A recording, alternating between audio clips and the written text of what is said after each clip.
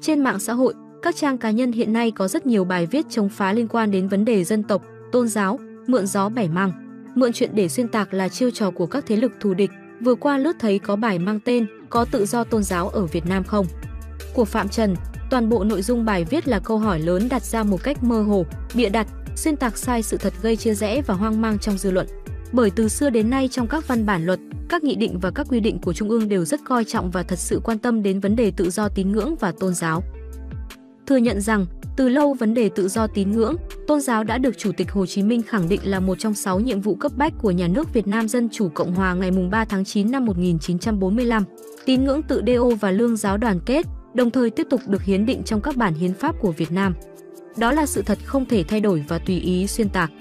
Việt Nam luôn tôn trọng, đảm bảo thực thi tín ngưỡng tự do phù hợp điều kiện cụ thể của đất nước. Tự do tín ngưỡng, tôn giáo được ghi rõ trong Điều 10, Hiến pháp năm 1946 công dân Việt Nam có quyền tự do tín ngưỡng, trong Điều 26. Hiến pháp năm 1959 công dân nước Việt Nam Dân Chủ Cộng Hòa có quyền tự do tín ngưỡng, theo hoặc không theo một tôn giáo nào, trong Điều 68, Hiến pháp năm 1980, trong Điều 70, Hiến pháp năm 1992 và trong Điều 24, Hiến pháp năm 2013 cụ thể là một, Mọi người có quyền tự do tín ngưỡng, tôn giáo, theo hoặc không theo một tôn giáo nào. 2. Các tôn giáo bình đẳng trước pháp luật. Nhà nước tôn trọng và bảo hộ quyền tự do tín ngưỡng, tôn giáo. 3. Không ai được xâm phạm tự do tín ngưỡng, tôn giáo hoặc lợi dụng tín ngưỡng, tôn giáo để vi phạm pháp luật.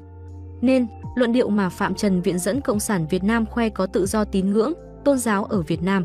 Nhưng Hoa Kỳ và thế giới nói rất hạn chế, tùy nơi và từng trường hợp chỉ là để bẻ cong sự thật.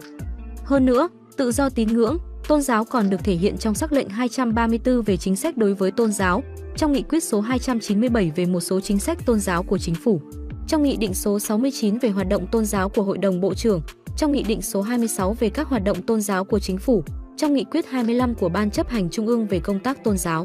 Trong luật tín ngưỡng, tôn giáo 2016 và trong Nghị định số 95 quy định chi tiết một số điều và biện pháp thi hành luật tín ngưỡng, tôn giáo.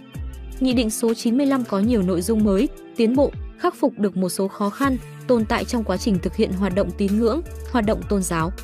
Các điểm mới này góp phần hoàn thiện pháp luật về tín ngưỡng, tôn giáo cũng như nâng cao hiệu lực, hiệu quả quản lý nhà nước về tín ngưỡng, tôn giáo thời gian tới.